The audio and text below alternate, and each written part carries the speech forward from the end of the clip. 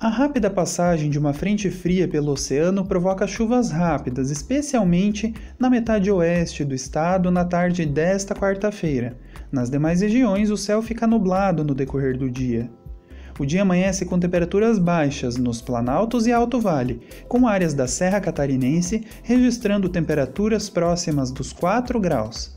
Nas demais regiões, as mínimas são mais amenas, ficando entre 11 e 13 graus na metade oeste e entre 12 e 14 graus nas áreas litorâneas. Nas áreas onde há risco de chuva rápida, as máximas ficam entre 20 e 23 graus. No Planalto Sul, a temperatura não passa dos 20 graus ao longo do dia. Nas demais regiões do estado, as máximas oscilam entre 24 e 28 graus. No litoral norte, a quarta-feira é de sol, com poucas nuvens, o que faz com que as temperaturas se elevem bastante ao longo do dia.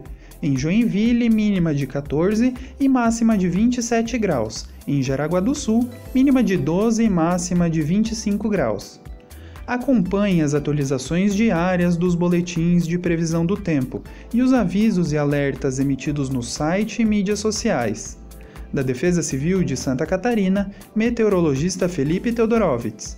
Defesa Civil, somos todos nós.